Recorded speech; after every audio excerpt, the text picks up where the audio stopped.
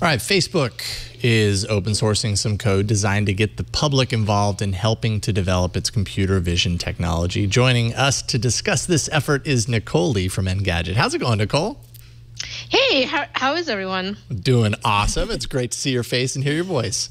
Um, so tell us a little bit about this. First, this project is aimed at a big challenge when it comes to analyzing images, and basically that's creating context around everything inside an image and not just a man or a dog. Why is this important to Facebook? So there, I mean, Facebook is more frequently than ever is about having visual content. You know, photos and videos, like almost almost the entirety of your newsfeed these days is something that's very visually rich, whether it's mm-hmm. photos or videos or GIFs or whatever it is. So I think it's really important for Facebook to enhance computer vision. Uh, there are several different use cases for this. Um, very recently, they have made um, their so something called autom, autom, automa- sorry, automatic alt text, which means that the photo, the captioning of photos is automatic. That means if you're a blind user who can't really see, who can't, you know, see photos, obviously, you can use uh, something called um, iOS Screen Reader, which is, is, a specific software to basically scan what is what is on a page. So um, with automatic alt text, um, even without specific tags in the photo, you can know what's in it. So the photo will say person dog. So at least the blind user knows it's a person, it's a photo of a person and a dog, right? Right. Which and this is that sounds really simple, but for people with low vision or a blind person, like that is something that is very valuable information. But that's just scratching the surface because a photo is more than just a person and a dog. It could be a like what's the person doing with the dog? Is like is it like is he throwing throwing a ball? Is the person tall? Is the dog tiny like there's there's so many different mm. variables like are they in a field is it a house like there's so many there's so many different variables that it's just scratch, scratching the surface of what a machine can see what uh what is the benefit to to Facebook in kind of releasing this code to the community in in the way that they're doing on GitHub? I think there because it's such a complicated thing, you know, um, machine computer vision is so complicated. Like like I say again, doing all of these things, it's such a such a complicated task that the more people that are able to help fix the problem, the better it is. The faster it's able to um, sort of improve itself by having the community help in and pitch in and solve any problems that are involved. Hmm. Um, so tell us about the so it's basically it's three blocks of code and they each have their own kind of specific application. Tell tell us about those kind of what they do exactly. Sure. Um, it's, some, it's a little technical but basically it's something called deep mask sharp mask and multi-pathnet and all three combined um, work into a visual recognition system that tries to discern what's on an image at the pixel level. So what deep what deep mask and sharp mask do is that they go in okay there are three different things in this picture. I don't know what they are, but there's three things. And and they'll sort of outline them in, in the in the in, in the in the image.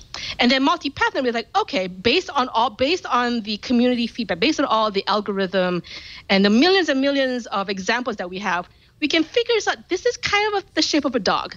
This is kind of the shape of a person. And they'll sort of sort of label those segments individually. Now, eventually Facebook wants this computer vision to be smart enough so that you can actually like, just actually physically take them and then move them around the image. Um, you can eventually use this computer vision technology for augmented reality applications. So, for example, you can sort of imagine Pokemon Go is an example that they, they came up with. Uh, imagine a Pokemon Go character hiding behind a table or hiding behind uh, a chair, and it'll become it'll make, make it a lot more interactive. And I think for Facebook anyway, it'll make being able to identify objects that much easier. So, for example, with Google Photos, you can just say you can just sort of Google ice cream. Um, and it'll sort of come up with all these photos of ice cream. Even though you've never tagged those photos ice cream, it just knows it's a photo of an ice cream. So that's so it'll, make searching photos easier. It'll make identifying photos easier. It'll make, you know, low vision accessibility easier. And I think the implications are there for even video as well. So will we be able to tell how many calories are in that ice cream by taking a photo of it? Yeah, that's exactly kind of where they're going with this actually. Like they want this to happen. They want they want this so that you can uh, bring up a photo of that ice cream and it will tell you how many calories it is it will tell you like the, its nutritional value um, so that's kind of where facebook wants to go with the, the augmented reality part of it Jason just searched his Google Photos for ice cream, and there's just like a dozen pictures of his children Lots eating of ice lots cream, of ice cream pictures. which is just I like love it's it. kind of yeah. I love hearing those keywords with Google Photos and being like, I wonder what I've got that falls in the ice cream category. It's, So it's them good. uh, open sourcing this. This is kind of the same as Google open sourcing DeepMind, right? And then there's that's how we are getting these new applications, sort of like uh, Prisma and that sort of thing. Yeah, and I think it's AI, especially out of all the different technologies involved, AI is the fee- one field that is open source the most. I feel like Facebook has hmm. open sourced like their language processing, their natural language processing, as well as the hardware they use to even make the AI possible. They've, they've open sourced that. So it's one of those sort of rare beasts in the Silicon Valley world where like, okay, share it around. It doesn't matter because the more the merrier. The the, the more the merrier, the more the, the better, the easier it is to advance this technology forward. The more people we have sharing it and creating with it and, and experimenting with it. Yeah, that's that's an interesting uh, observation, but you're absolutely right. And such a such a hot button thing right now. So we're talking about photos, obviously. Uh, what about extending this sort of work into full motion video? Um, are we a ways away from that type of analysis? It is a lot harder because the objects are moving. The Yeah. um, moving images are really much. There's a higher level of complexity involved. Sure. But they've they've already done it. Like Facebook has told me that they've already identified which videos are cat videos, and which videos are videos of food. So they've know they know cats and they know food, so far. no, I mean really, they got the essentials Yeah. in, in internet culture. they know cats and they know food. So I, from from there on, you know, we'll see what you know, we'll see where they go from here. But they've sort of identified those kinds of videos. So, and I think importantly for Facebook, as they move forward with live, especially with live, um, they want to be able to say, okay, this video has explicit content.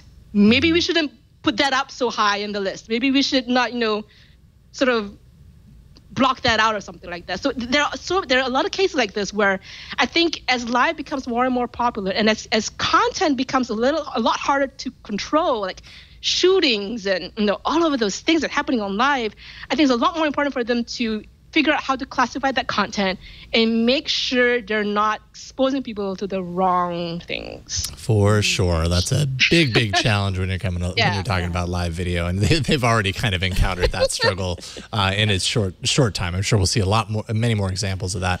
Uh, Nicole Lee, it's always a pleasure getting to talk to you. Thanks so much uh, for coming on today to chat with us. Tell us, tell people where they can follow all your work online, You can go to engadget.com. and at Nicole. You're one, you're one of those people that got the first name on Twitter somehow. So excellent.